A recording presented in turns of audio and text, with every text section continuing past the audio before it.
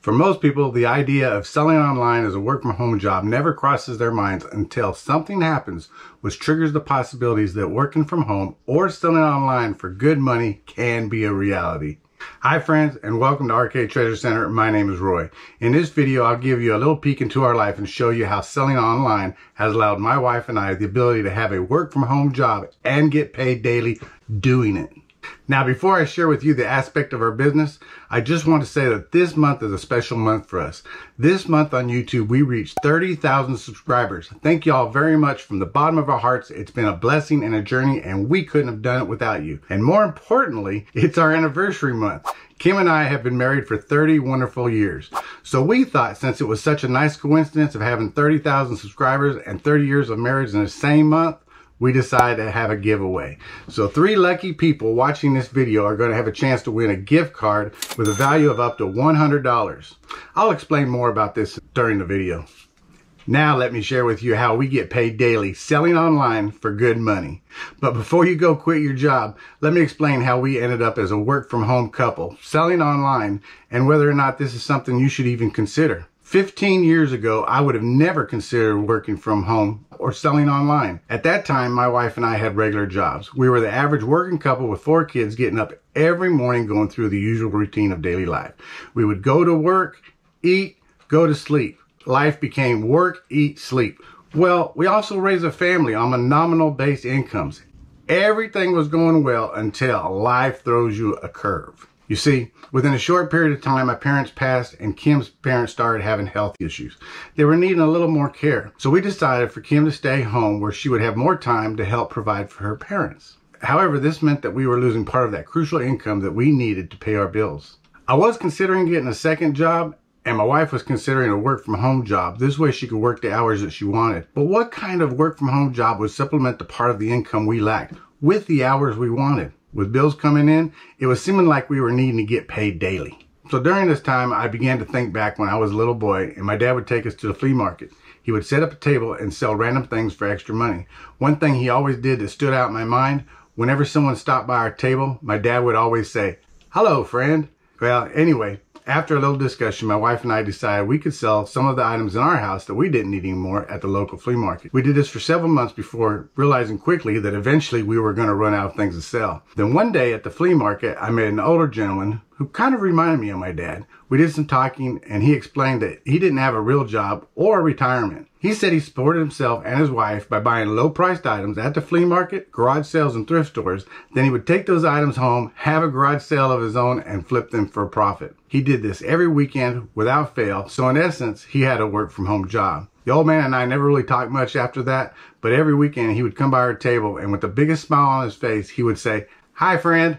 Just a side note, just something I thought I would share. Since I started making YouTube videos about working from home and selling online, this is why I start my video introductions with hi friends. Anyway, back to the story. My wife and I continued to sell items on the weekends at the flea market for a couple years, but it wasn't until one day when two things happened which gave me the spark I needed. The first thing that happened was at the end of the flea market day, I overheard a man, the old man, talking to another vendor that said he would buy everything on the table for $50. I was surprised when I heard the guy say yes. Just by looking at all the stuff on the table, I know I could have made $500 or more easily. The second thing that happened was when we got home that evening, while we were eating dinner, I began watching the news and I saw a reporter interviewing a person who had lost his job and couldn't find work. And that's pretty common in today's world. So to make ends meet, this guy started his own business by selling stuff on an online platform called eBay. My mind was blown. And just like that, I realized I could combine what the old man was doing and what the guy on the TV was saying, and we could have our own part-time job working from home selling online. We would have never guessed that 10 years later, both Kim and I would be doing this full time. And in fact, five years ago, I decided to take an early retirement, and today my wife and I work full time at home. Well, we started part-time, but we work full-time at home on our own business selling online. Now let me show you how we get paid daily selling online for good money. Well, right now I'm sitting in front of one of my favorite consignment thrift shops to go to. Unfortunately, they usually play a lot of music, so I don't take the camera inside because otherwise you can't hear anything that I'm showing you and I don't want to get the copyright. But I did have a lot of items that sold today, so what I'm going to do is show you the items that sold back in my treasure center. And then while you're watching that, I'll be in the thrift shop. And then when I come out, if there's anything that I find, I'll show it to you when I get out and tell you what I paid for it and what I think it should sell on eBay. So if you're enjoying the video and the content so far, then go ahead and smash that like button because it really helps out the channel. And if you're new to the channel or haven't watched any of our videos before, well, welcome to RK Treasure Center, the hub of where everything happens. Everything from videotaping, wrapping and shipping, all of our shipping supplies, and all of our items that we sell in our home-based business. This is our work-at-home job. And all the items that you see on the shelves, they're all up for sale. These are things that we sell on a daily basis and stuff that we pick up at garage sales, thrift shops, flea markets. This is our work-from-home job. And this is all the stuff that we sell online. So I figure the best way to show you is to show you the items that sold so that way you know the kinds of things that we sell in our online business. So in a recent video, I showed you an item that sells and I told you guys whenever you see them, pick them up because you always get at least $10 out of it every time you see them because they're really inexpensive. And this is the item right here. This is a power cord cable. And I tell you guys at thrift shops, the garage sales, you will find these everywhere and you'll find them for cheap 25 cents to a dollar and they'll sell for $10 or more every single time. This one sold for $14.99 now recently I did get a question. I think it was after the last video when I did show a power cord it said how do you know that these power cords work? Most of the time when it comes to like thrift shops or things like that most of the time the power cords are just fine. It's the main electronic components say like the TV the VCR the computer or something like that that's gone bad. And thrift shops will separate those items items and sell them separately. In fact, I have been selling these uh, for over 10 years that I've been selling on eBay and I have never had a complaint or return. So pick these up when you see them because they are worth the money. Next, we're going to come into the J3 bin and I sold a metal sign. These are some signs I picked up a while back and I guess it's this one right here. Yeah. Sold this one. It says Dad's Workshop. This was a really nice metal sign and this sold for $16.99 sold one of these guys right here. This is an athletic green canister. It's bamboo top. It's, it's uh, porcelain and you can see it's just hollow. It's got a really nice seal on it. This was one of those really nice thrift shop finds where I found two of these for $1.99 a piece and this sold for $22 and inside here should be right here in front is this right here Inside this bag is a Garmin Nuvi with stand. Normally I sell all these separate, but this one, since I had picked up so many different old GPS Garmin's, that I went ahead and decided to sell some of them together as sets, and that's what's inside this bag. And this sold for $24.99. I picked it up for $1.99 at the thrift shop. So I sold another item that many of you people seen me sell already, and that's a Furby. But I usually keep my new Furbies inside the treasure center, inside the house. But out here, I keep the Furbies that weren't in a box. So right in here, in our R2 bin is the little tiger Furby. And you can see it looks like, actually it's a draft Furby. He's got the draft print. This one sold for $38. So Kim's been working on some shirts and she's got two tubs of shirts put together. I hadn't even got them up on the shelf, but I did sell one item out of one of these tubs. So I have to find it real quick and then I'll show it to you. So I found it and this is it right here. This is a 5X nurse's scrub and that's just a shirt top. This right here has Disney Mickey Mouse all over it. This sold for $14.99 plus shipping. Picked this up at a thrift shop for $1.99. What are you doing, honey? Well, I have some bad news. What's that? Evidently, our shirts are having babies in your eBay garage. The shirts are having babies. Every time I think I'm done, I bring you, you more shirts. You bring me another bag of shirts, and I'm like, I cleaned up everything. I put it all away. I was so excited to post something other than shirts and. And now I give you more shirts. Yeah. But I think that's all the shirts, though. Are you sure? That's what evidently I, there's been litters being I, born. I might come across another shirt or two or three Yeah. So you got some good shirts. It's a nice shirt. A Yeah. Hawaiian shirt. Yeah. Look at this is a Sturgis. Sturdy. Oh yeah, that's So I kind of pre-wash them and then a very light dry and then hang them up so they're not as wrinkled. a That foot a foot joy shirt. There's another Hawaiian shirt. Yeah. That's pretty good. Who's this one? Hilo Hattie. That's good. You know how um, I was using the steamer? Yep. A bust. It takes too long. So what I'm doing is I do a quick wash and um, put them in the dryer for just a very short time. And you got that camera awful close. I know. That's because it's a small area. This is our bathroom. so this is my now my part of the staging area. We're in our bathroom. Yeah. But y'all never thought you'd catch us in the bathroom, watch us in our bathroom. But that's all you're gonna watch in our bathroom is this. I'm just saying. These shirts don't need to be birthing no more babies. That's all I'm saying. All right. Is this it? You think? That's it. I hope so. I don't trust. I don't. I don't know. This is like the second time. Oh, I'm done, and then you bring another bag, drag another bag. All in, right. so- Well, I'll try not to bring any more. well, if they're there, they're there. But All right. okay, Okay. Well, we're out of here. bye. Well, way back when, when I first started selling on eBay, I made a mistake and bought a whole bunch of TY Beanie Babies. Well, you can easily sell them, but not for good money. There are very rare ones out there, and a ton of people are selling these on eBay and they're trying to sell them with errors and just say that they're unique and rare and all kinds of things like that. I recommend don't sell TY Beanie Babies unless that's the only item you're going to be selling in your store and your store is going to have that niche and be known for selling TY Beanie Babies. Way back in the day, they were popular. Today's world, they're not. And most of the time, people sell these in lots of 20 and 30 for like $30. Anyway, don't sell TY Beanie Babies. But like I said, this one sold for $9.99, so I'm happy and I got rid of him. I think he might be my last one. And in this bin, I sold this item right back here.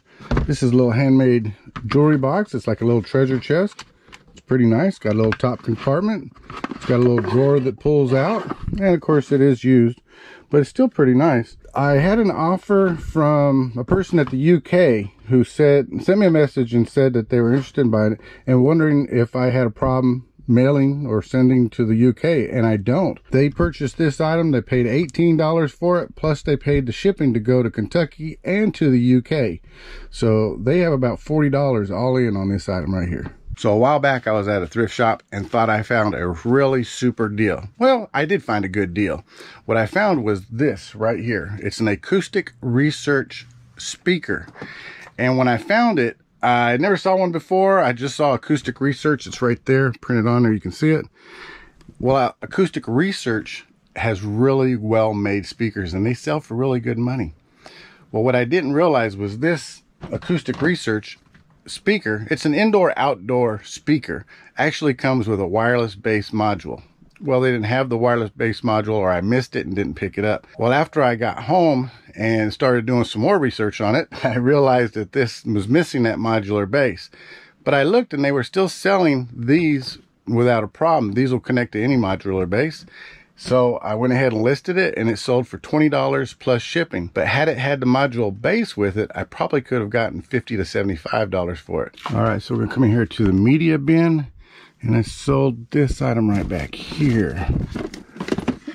This is called The Movies. It's a premiere edition. This is made by Activision. It's a PC DVD ROM game. And it's really nice, complete. It's got a whole bunch of different things. I guess you make up your own scenes. And it's like the ultimate, become the ultimate Hollywood player. This right here was a really good little find at a garage sale. I paid a dollar for it. And this sold for $15 plus shipping. So I've been walking around showing you different items that sold. Well, I'm about to show you something that's not something I sold, but it's actually something I bought. I bought it for my wife Kim for our anniversary, and she really likes turquoise. So what I got her was this turquoise heart right there. You think she'll like it? Well, anyway, the reason I showed you that was because in today's video, to win the giveaway, you have to know a clue word, and the word is heart. So a lot of people just like to randomly run through videos to try to enter a giveaway. Well, I'm doing this so that that way it looks like I'm showing you something. So that way anybody running through the video doesn't see it. and I want this to be as fair as possible. So in today's video, at the end of the video, make sure you follow all the rules. But one thing you have to do in your comments is put the word heart. And it does have to be spelled correctly because we're going to filter out all the duplicate users. So you can only put it in your comments one time. And we're also going to filter out how it's spelled. So H-E-A-R-T, heart. Okay, sold an item out of the N2 bin. And this is it right here. This is a vintage Rayovac VHS-C cassette adapter. Anybody that had an old camcorder would need one of these to play their little VHS beta tapes in, a regular VCR. I did replace the battery and put in a new battery with this. And this sold for $24.99. Picked this up at a garage sale and paid 50 cents for it. And out of the picker bin, or the W1 bin, this sold. This is a weatherband radio. It's AM, FM, and picks up TV stations as well. This is a vintage radio, and it comes with earbuds. This sold for $24 plus shipping. Picked this up at a garage sale for 50 cents. And I sold this back here. Let me be a little careful with it. This is a Santa Claus porcelain head doll. Let's see if I can get it to where you see it. There you go. This sold for $22 plus shipping. So the next item I sold is in the M1 bin. And before I get that out, I just want to say that this item sold through the global shipping program on eBay. And if you're not selling internationally, you don't sell your items through the global shipping program or just sell your items internationally, whether it's on eBay or any other platform, you're missing out on a bunch of money. Let me get this item and we'll talk about it and I'll show you what it is. And it is going to be in this little bin, so it's a little item, and this is it right here. This is a four inch wooden hand carved toucan or toucan. This little bird I picked up at a garage sale for 50 cents. It's a little hand carved wooden bird with beaded eyes. This little guy right here sold for $11.99 plus shipping Plus, it's going through the eBay global shipping program. So the buyer has over $40 all in on this little guy right here.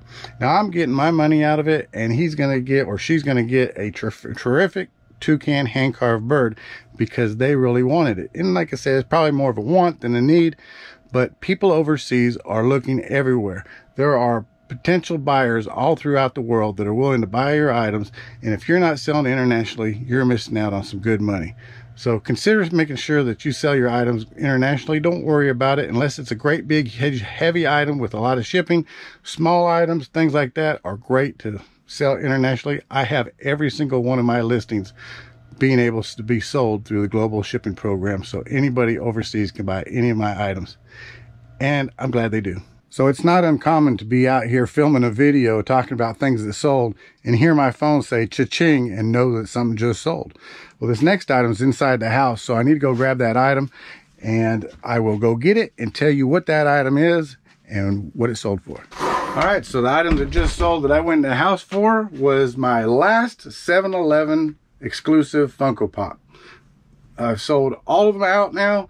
These were all retail arbitrage items that I picked up at 7-Eleven. I spent $70, bought like 14 of them. They have all sold now, and I think my total that I've made on all these has been about $350 plus shipping. And this one sold for $24.99 plus shipping, and that's what I had on the price on all these was $24.99 plus shipping. In fact, a majority of these have been going out through the International Global Shipping Program on eBay. I probably sent at least six out of the 14 that I sold internationally. All right, so up there in that bin up there is a bunch of Christmas ornaments, and I sold some, so I need to get these down and check it out. And it should be number 202. So this is a vintage box of Christmas ornaments, and actually they came from Kmart way back in the day. And they are bright and shiny Christmas ornaments. And as you can see, it has the original price tag of 78 cents on it. And these were actually purchased for about 25 cents a box at a garage sale. And I picked up a bunch of boxes. Well, these vintage Christmas ornaments will sell for good money. These sold for $18 and they're actually going to be really easy to wrap up. All you have to do is put them inside a, a cardboard box or wrap cardboard around it, pad that, and then put it in another box and they'll mail out for a really lightweight because these things right now probably don't weigh two, uh, two, three ounces even inside that box. And this is my C2 bin. And I sold this right here. This is a Travel Yahtzee Deluxe. It has everything in, in there. It has the dice, the cup, and it has a little board naturally built into it. Plus it has a pad and the original Yahtzee pencil. I picked this up at a church rummage sale. I paid a dollar for it.